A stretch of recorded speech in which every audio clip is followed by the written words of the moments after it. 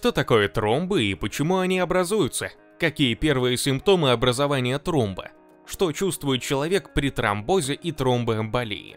Как уберечь себя от тромбообразования? Об этом узнаете, досмотрев видео до конца.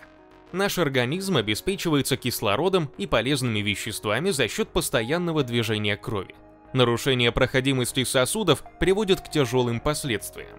Наиболее часто снижение скорости продвижения крови происходит вследствие образования тромбов, либо закупоркой сосуда прилетевшим тромбом. Что такое тромбы и почему они образуются? Тромбы являются результатом образования сгустка крови. Это происходит при повышении свертывающей системы крови и называется гиперкоагуляцией. Также тромбы на стенках сосудов могут возникнуть вследствие нарушения его диаметра. Это происходит при формировании атеросклеротических бляшек и при длительном спазме. Тромбы образуются на стенках глубоких вен нижних конечностей при варикозном расширении венозных сосудов. Иногда размеры тромбов могут достигать 10-15 см в длину. Наличие таких тромбов опасно отрывом частичек их и развитием тромбоэмболии. Тромбы образуются на стенках артерий при атеросклеротическом поражении. Они постепенно закрывают сосуд, и это приводит к ишемии или кровоизлиянию. Так может развиться инфаркт миокарда или инсульт. Какие первые симптомы образования тромба? Если тромбы образуются в венозной системе, то это происходит в сосудах нижних конечностей. Здесь на фоне расширения вен формируются участки с замедлением кровотока, а следовательно возникает возможность формирования сгустков, особенно при повышении вязкости крови и активации факторов свертывающей системы. Формирование тромбов происходит постепенно.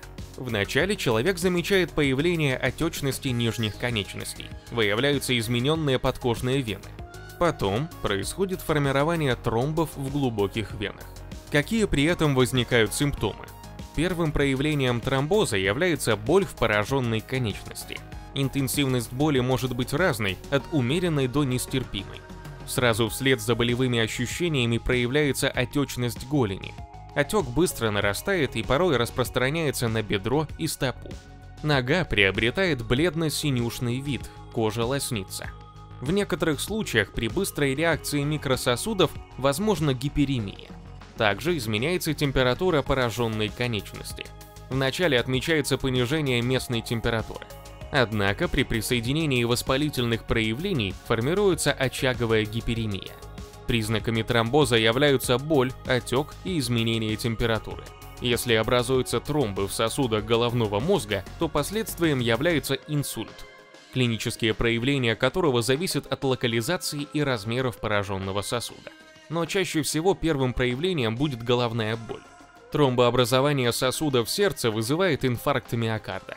Здесь также первым симптомом приступа будут болевые ощущения, и затем формирование проявлений сердечной недостаточности, отдышка, сердцебиение. Что чувствует человек при тромбоэмболии? Тромбоэмболия является тяжелым осложнением тромбоза. Возникает тромбоэмболия вследствие отрыва всего тромба от стенки сосуда или частички большого тромба. Такие эмболы попадают в центральный кровоток и могут вызвать блокаду прохождения крови через отделы сердца. Тогда возникает остановка сердца. Если с током крови они попадают в легочную артерию, то формируют либо тромбоэмболию, ТЭЛА, мелких сосудов с развитием инфарктной пневмонии, либо при поражении более крупных сосудов развивается острая дыхательная недостаточность и остановка сердца. При развитии ТЭЛА возникают боли в грудной клетке, одышка. Это тяжелое осложнение тромбоза, часто заканчивающееся летально.